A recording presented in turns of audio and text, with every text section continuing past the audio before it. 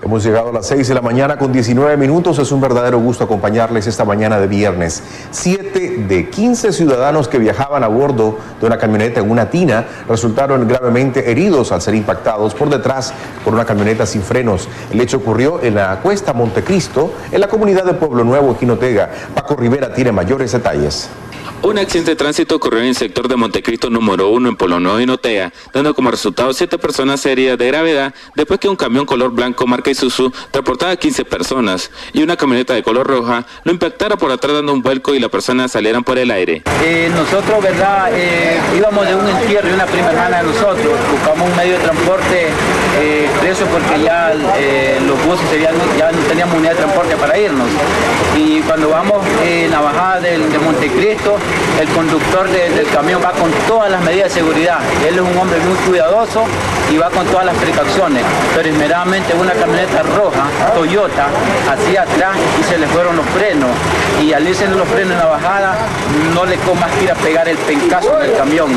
Y ahí fue donde se dio el accidente. Entonces el camión, al, sufrir el impacto, el camión se subió a un barranco y se dio vuelta. El conductor del camión, Juan Sebastián Blandón, de 45 años de edad, asegura que después del impacto no se acuerda nada, hasta que la persona que estaba en el lugar, ayudando de manera humana para movilizar a las personas de gravedad hacia el hospital Victoria Mota y Notea. Bueno, iba aquí parada en una bajada de una camioneta roja, y iba un camioncito pequeño adelante.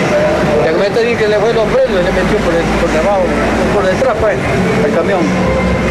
Y entonces como aquí la, la cuneta Honda, el camión se fue a la cuneta y la camioneta. Allí dio un pasto, dio unos varios heridos ¿Vos sos conductor de camión blanco? Así es. ¿Cómo sucedió esto? No? Ya, yo venía conduciendo y cuando acordé fue el impacto que me impactó por detrás. ¿Venías en baja velocidad y en retenido? en primera, en primera vengo yo. ¿Él venía en exceso de velocidad?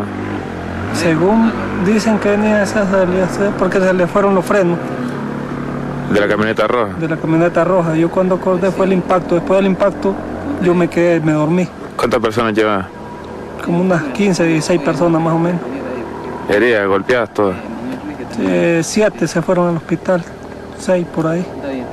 De las siete personas heridas, uno se encuentra entre la vida y la muerte y es de nombre Miguel Ángel Ruiz Castro, de 33 años de edad, quien fue trasladado del hospital Victoria Motas y Notea hacia un hospital de la capital. El conductor de la camioneta se encuentra detenido, ya que se quería dar a la fuga, pero la Policía Nacional lo capturó. Desde Inotea para Acción 10, Paco Espinosa.